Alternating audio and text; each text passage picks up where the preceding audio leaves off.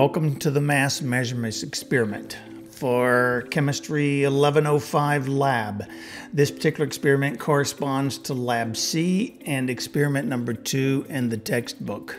The first part of the textbook, the background, you'll want to be sure and note five key concepts. The difference between mass and weight, the digital electronic balance, know the difference between taring versus weight by difference, and of course, how to record data to the proper number of sig figs, and if you do a calculation, to report your final result to the proper number of sig figs. Let's move to the experiment itself now, part A. It calls for you to weigh two objects. Object A is a metal rod, and B is going to be a rubber stopper. You always need to tare a balance first. The way these balances work, you'll see the thing that looks like a little G on the far right. When that comma after it goes out, you have a stable number. Here we're taking the direct weight of the metal object and you can see the comma is out. You pick any number that you see, any value, so long as the comma is out and the balance has had five or so seconds to equilibrate. It's up to you to pick the number that you record, so long as it's stable.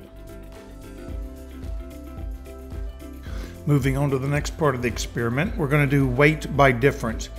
And that's where you're going to take the mass of a beaker, and then you're going to take the mass of the beaker plus the object, which in this case is the metal rod.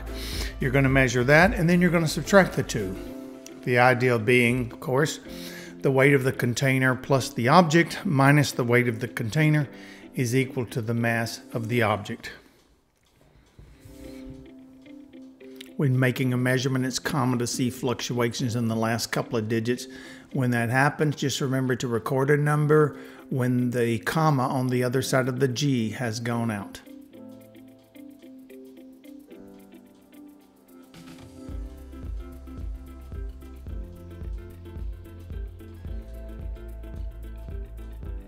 Starting now, object two of part A of the experiment. For this part, you're going to do essentially what you did for the metal rod. You're going to determine the weight directly.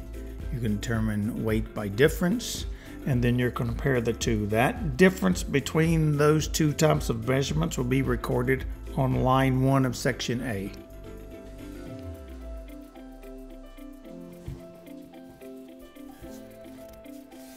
Remember in your manual to record all things to the correct number of significant figures. For a balance, for the particular balance you see, it will always be to the third decimal place. Record all digits you see when recording a digital balance.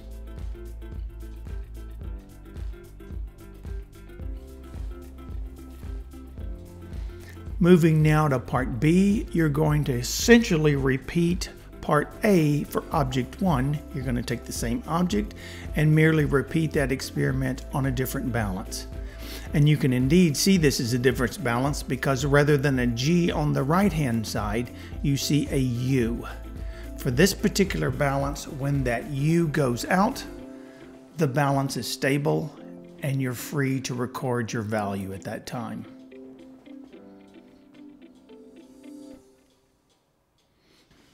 Picking up the video where it is now. You've already made the direct measurement and now you're making the indirect measurement for the metal rod on balance B.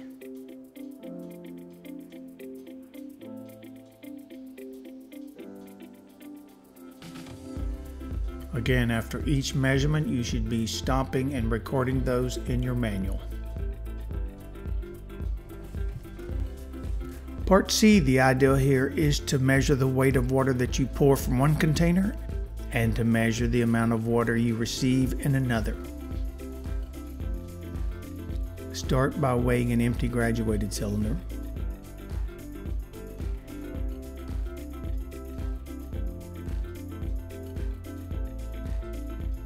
To that graduated cylinder, we're going to add some water.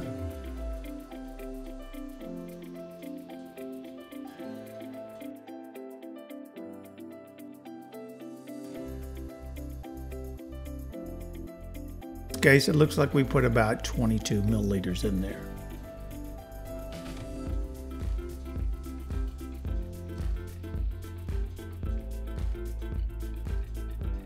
We now have the weight of the graduated cylinder plus the water. From those, you can calculate the value for line 1, section C.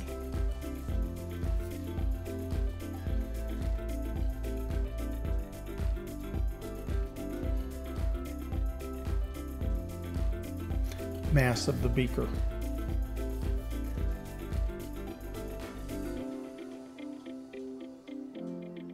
Now for the transfer. Pouring part of the water from the graduated cylinder into the beaker. Of course, the cylinder unit has lost mass and the beaker has gained mass.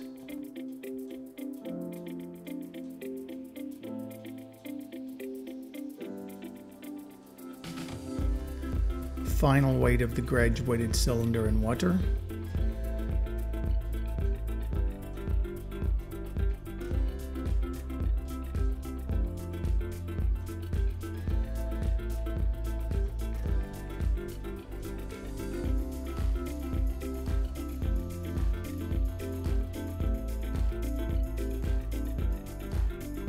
and final weight of the beaker in water.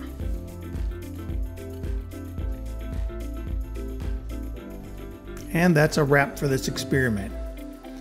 From the video, you should be able to record all data in your report form to the correct number of sig figs, perform the calculations, then answer the post-lab questions, and submit it all as instructed in the assignment C.